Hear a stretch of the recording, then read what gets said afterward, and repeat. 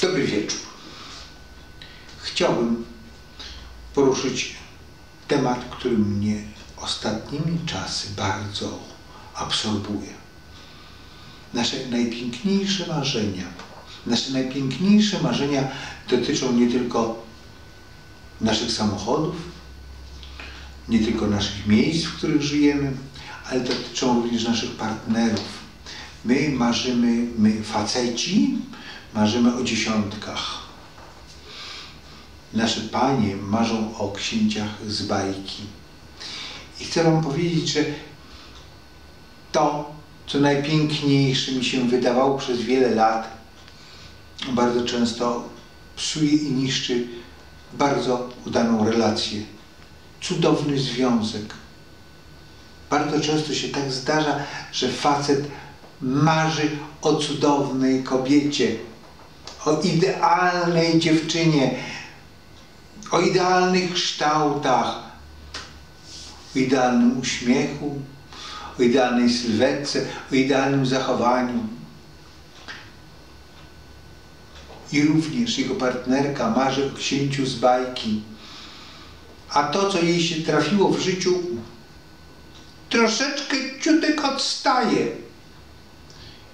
I może on byłby bardzo fajnym facetem dla niej, gdyby nie odstawał od księcia z bajki, gdyby koleżanka go miała, to miałaby szczęście w życiu, że takiego fajnego faceta spotkała. Ale ponieważ ona wymarzyła sobie księcia z bajki, wymarzyła sobie niezwykłego samca, to ten zwykły samiec nie dorasta marzeniom do pięt.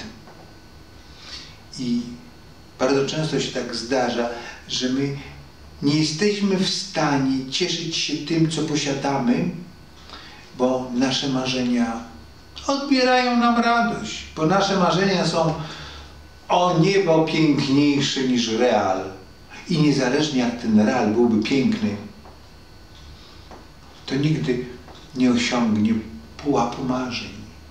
Dlatego, kochani, życzę Wam, abyście marzyli o tym, jacy jesteście szczęśliwi.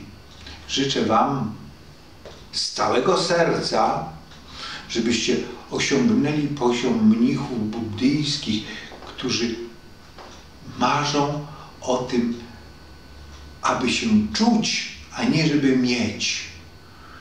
I dlatego bądźcie szczęśliwi z tym, co macie, a dopiero później osiągajcie następne etapy prosto aż do nirwany.